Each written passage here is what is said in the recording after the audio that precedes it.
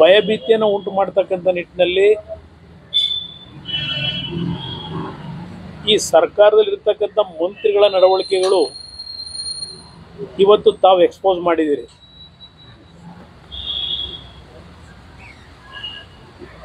ಇಲ್ಲಿ ಸನ್ಮಾನ್ಯ ಮುಖ್ಯಮಂತ್ರಿಗಳಿಗೆ ನಾನು ಕೇಳಲಿಕ್ಕೆ ಬಯಸ್ತೀನಿ. ಯಾವ ಮುಖ್ಯಮಂತ್ರಿಗಳು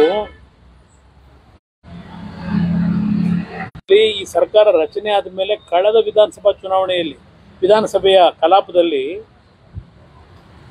ಒಂದು ಬಿಲ್ ಬೇರೆ ಪಾಸ್ ಮಾಡಿದ್ರು. ದಲಿತರ ಭೂಮಿಗಳನ್ನ ಹಲವಾರು ಪಟ್ಟಭದ್ರ ಹಿತಾಸ ಹಿತಾಸಕ್ತಿ ಹೊಂದಿರತಕ್ಕಂಥವರು ಅವರಿಂದ ಜಮೀನುಗಳನ್ನು ಲಪ್ಟಾಯಿಸ್ತಾ ಇದ್ದಾರೆ. ಪ್ರಮುಖವಾದಂಥ ಒಂದು ಅಂತ ಹೇಳಿ ಈಗಿನ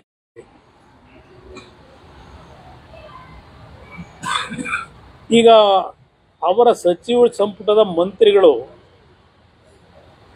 ಆ ದಲಿತ ಕುಟುಂಬದ ಜೊತೆ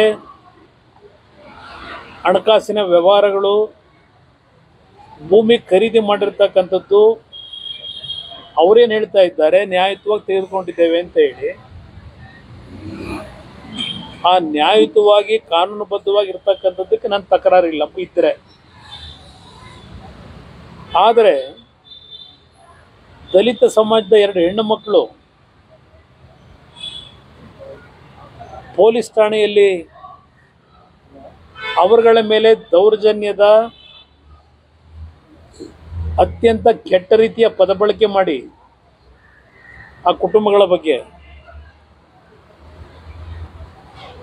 ಭಯಭೀತನಾಗಿ ಮಾಡಿರ್ತಕ್ಕಂಥ ಹಿನ್ನೆಲೆಯಲ್ಲಿ ಒಂದು ಕೇಸ್ನ ಬುಕ್ ಮಾಡಿದ್ದಾರೆ ಈಗ. ನಾನು ಅಧಿಕಾರಿಗೆ ಪ್ರಶಂಸೆ ಮಾಡಬೇಕಾಗ್ತದೆ, ಅಭಿನಂದಿಸಬೇಕಾಗ್ತದೆ. ಯಾಕೆಂದ್ರೆ ಇತ್ತೀಚಿನ ರಾಜಕೀಯದ ಸನ್ನಿವೇಶಗಳು ನೋಡ್ತೇನೆ ನಾನು. ಈ ರಾಜಕೀಯದ ದ್ವೇಷದಲ್ಲಿ ಹಲವಾರು ಪ್ರಕರಣಗಳಲ್ಲಿ ಅಮಾಯಕರುಗಳ ಮೇಲೆ ಅಟ್ರಾಸಿಟಿ ಕೇಸ್ಗಳನ್ನು ಹಾಕಿ ಯಾವ ರೀತಿ ಹಲವಾರು ಅಧಿಕಾರ ದುರುಪಯೋಗ ಪಡಿಸ್ಕೊಂಡು ಅದನ್ನು ದುರ್ಬಳಕೆ ಮಾಡ್ಕೊಳ್ತಕ್ಕಂಥದ್ದು ಒಂದು ಭಾಗ. ಇಲ್ಲಿ ಅಂಥ ಸಂದರ್ಭದಲ್ಲಿ ಸತ್ಯಾಸತ್ಯತೆ ಏನೇ ಇರಲಿ ತಕ್ಷಣ ಅವ್ರನ್ನ ಬಂಧಿಸ್ತಕ್ಕಂಥ ಕೆಲಸ ನಡೀತದೆ ಆ ಕಾನೂನಿನಲ್ಲಿ. ಆದರೆ ಇಲ್ಲಿ ಒಬ್ಬ ಮಂತ್ರಿ ದಲಿತ ಸಮಾಜದ ಹೆಣ್ಣು ಮಕ್ಕಳ ಮೇಲೆ ಇದೆಲ್ಲ ಕತ್ತಿ ಮದುವೆ ಮಚ್ಚು ಬೇರೆ ತಗೊಂಡೋಗಿ ಅದೆಲ್ಲ ಆಂಧ್ರ ಪ್ರದೇಶದಲ್ಲಿ ನಾವು ಮಚ್ಚಿಡ್ಕೊಂಡು ಓಡಾಡ್ತಿದ್ದವರು, ನನ್ನ ಬೆಂಬಲಿಗರು ನಾವೆಲ್ಲ ಭಾಳ ನೋಡಿದ್ದೀವಿ ಅಂತೇಳಿ ಹಲವಾರು ರೀತಿಯ ಪದ ಬಳಕೆಯನ್ನು ಮಾಡ್ಕೊಂಡಿದ್ದಾರೆ. ಸಿದ್ದರಾಮಯ್ಯನವರೇ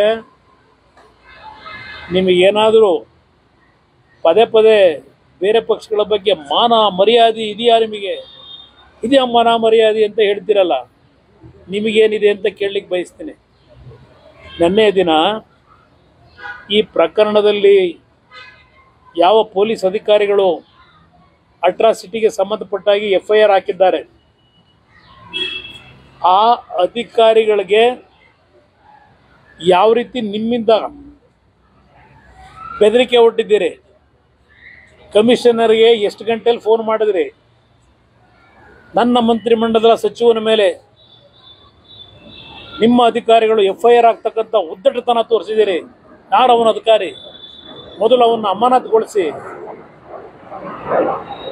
ಇದನ್ನ ನೀವು ಕಮಿಷನರಿಗೆ ಮಾತನಾಡ್ತೀರಿ.